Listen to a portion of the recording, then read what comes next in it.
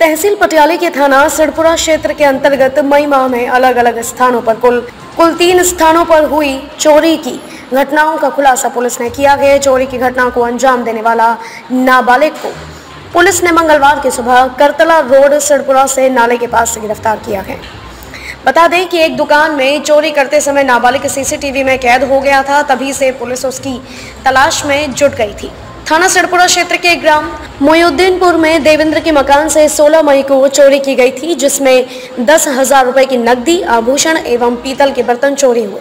मामले की रिपोर्ट देवेंद्र ने नाम, नामजद नाबालिग व उसके एक साथी के खिलाफ दर्ज कराई। इससे पूर्व 9 मई को करतला रोड स्थित श्री कृष्ण की किराना की दुकान में चोरी की घटना हुई। तीसरी चोरी की घटना 4 मई को अतुल कुमार के विशाल कॉम्प्लेक्स में रेडीमेड कपड़ों की दुकान पर चोरी की घटना हुई। जिसमें कपड़े और सोने की अंगूठी की चोरी की गई। कोतवाली प्रभारी निरीक्षक विनोद कुमार ने बताया कि मंगलवार को आरोपी नाबालिग के करतला रोड पर होने की जानकारी मुखबिर खास से पुलिस को मिली। पुलिस ने उसे गिरफ़्तार कर लिया। लगातार तीन चोरी की घटना के बाद से पुलिस को उसकी तलाश थी।